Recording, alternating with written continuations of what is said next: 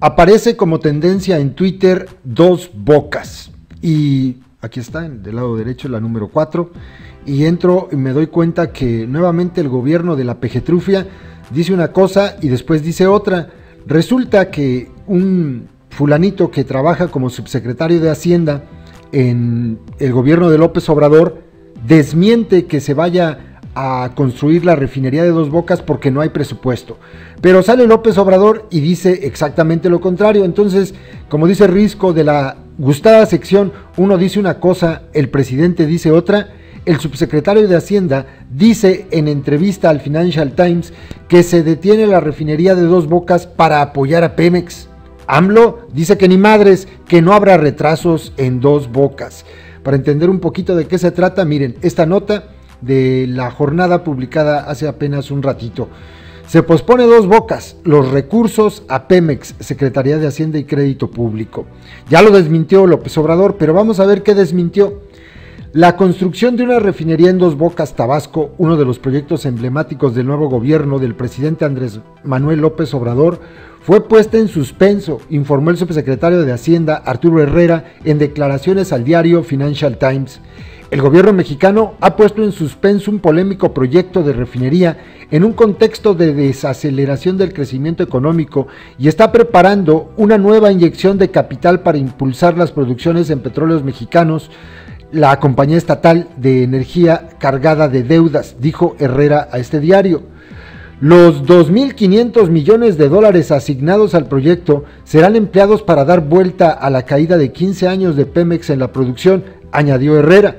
Las afirmaciones del funcionario fueron desmentidas en la misma mañana de este martes por el presidente Andrés Manuel López Obrador, quien en la conferencia de prensa matutina declaró, no hay retraso, estamos muy bien y se va a construir la refinería, se va a terminar en tres años y va a costar entre 6 mil y 8 mil millones de dólares.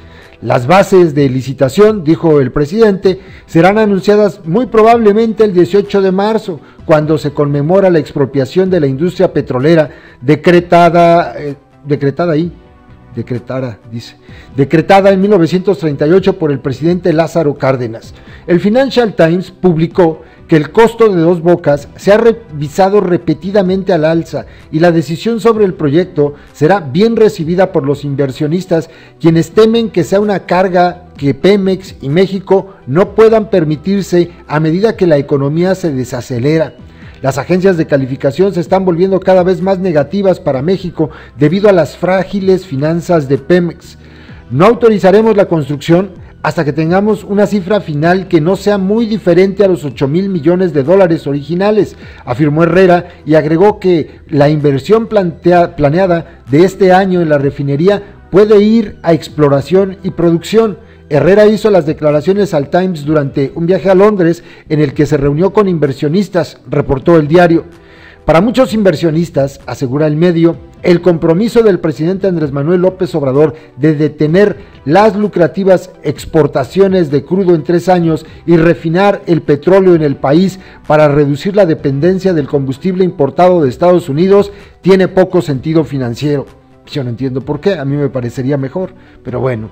Es casi un acuerdo hecho que la refinería será cancelada, sostuvo otro participante de en las recientes reuniones de inversionistas con altos funcionarios del gobierno, quienes pidieron no ser identificados. ¿Por qué? ¿Por qué? ¿Por qué?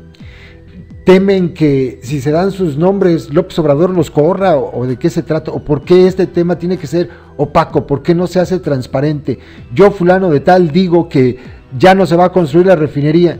Yo fulano de tal digo que hemos acordado y el presidente sabe que no se va a construir la refinería. En fin, no entiendo por qué.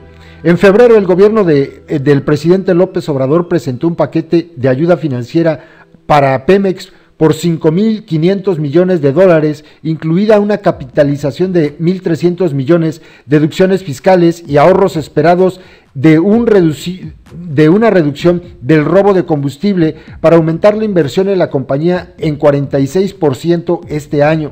Sabemos el tamaño de la capitalización adicional planificada, pero no estamos listos para anunciarlo, dijo Herrera a la publicación británica. Herrera anunció que el gobierno estaba hablando con el Fondo Monetario Internacional y otras organizaciones multilaterales sobre la estructuración de una nueva inyección de capital para Pemex, más, deuda, ¿eh? Dijo que las discusiones fueron técnicas y que no hubo préstamos.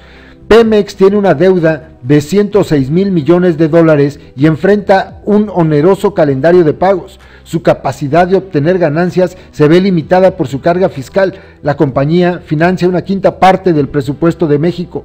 Herrera anunció que el gobierno presentaría un borrador de plan de negocios para la compañía en las próximas seis semanas aproximadamente, que coincidiría con las necesidades y condiciones financieras con un plan de producción.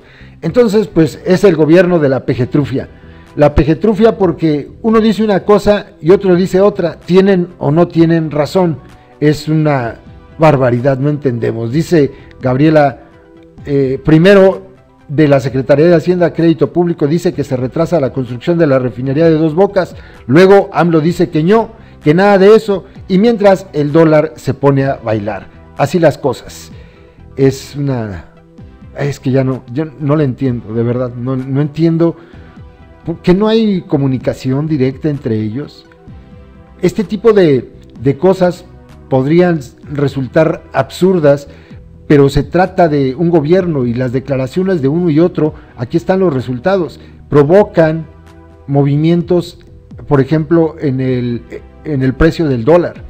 Y obviamente, ante tanta incertidumbre, porque ¿qué, ¿qué van a creer? ¿Lo que dice López Obrador o lo que dicen sus secretarios y subsecretarios?